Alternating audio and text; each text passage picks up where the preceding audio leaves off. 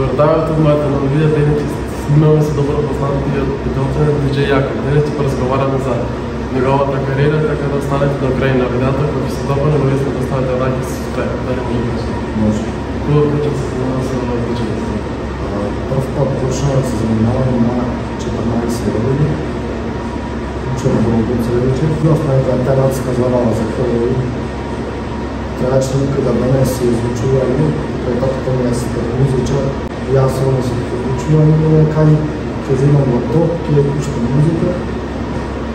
После тоа почнав да пуштам музика на роден ден, да во просторите.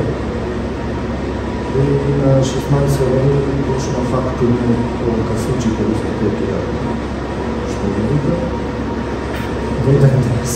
Без. Како те беше време да се занимаш на време прв настап, тогаш на 40 години осмевам на настап, што беше во склоп на училиште, кој немаше што нека посебна публика, сите другари мои од училиште, а прв настап посериозен во Кафич, нов тренер многу, што в 15 години само, и нов треба реално нови, ама после тоа Добро, се текна се време. текна време ми стана малку и се јавам. Супер наредно прашање, кој настап, например, кај имаш најпознати настапување, кој те остана како впечатен? Имам настапувам скоро низ цела да Македонија. Настап што ми остана впечаток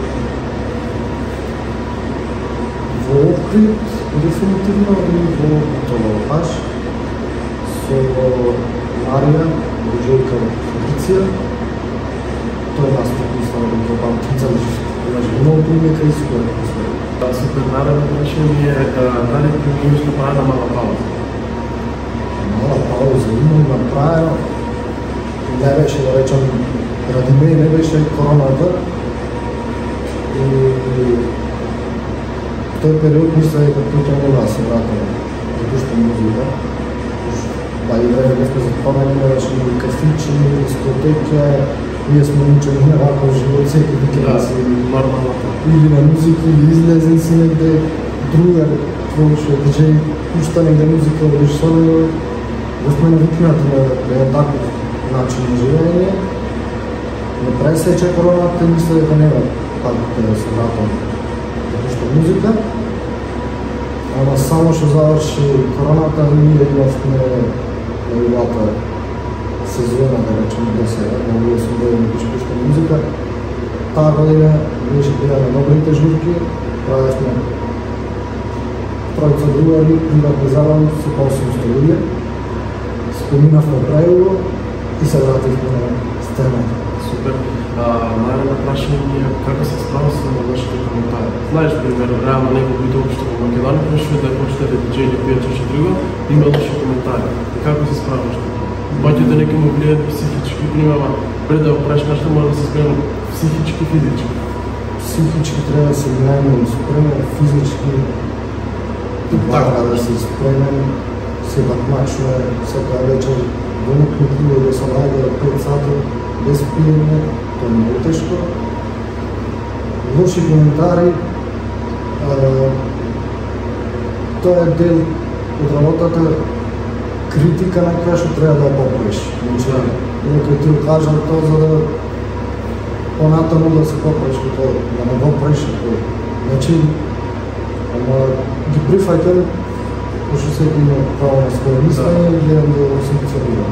Не, некој што претерва като што пише, пример без забрав за зависи. Може тебе не тебе, но некои други може му има. И малце некој што му паѓа и морал, пример, и губат се. Треба да си психички многу Да. Порано јас не ги слушав. Не знам, ќе ми кажам, не не го пушташ. Обично најмногу си даваме критики со колегите. Со Мириша, со Петр. Да. Најмногу си одиме друштво спелдиме по настав на Дунав. И знаеме да се каже не овде не го направимо, ова песна не требаше да пуштиш.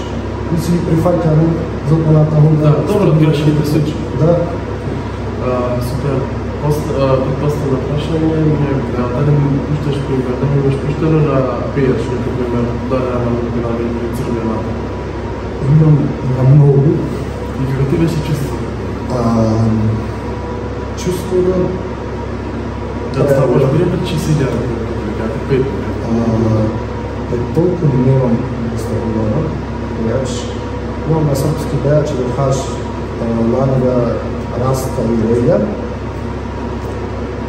На двата си поминав прелюбо, публика многу, исполнете сите, беше феноменално. Искрено. Супер, после да почнеме каква што плани имаш во игра?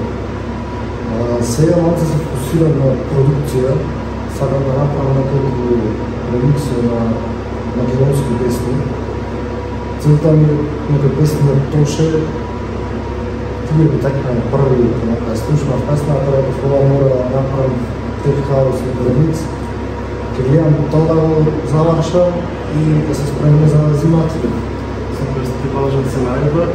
Толку да видеа, ако се допрва да видеа, ако сакаш тоа да видеа, да не се забравите ставите лайк и субскрайб, сите да се пратите Мислен Печејаков и сите нас да пишеме да ви убитови надвор од битово за да, да го поддржиме и секако да дојдете на нас да се гледаме.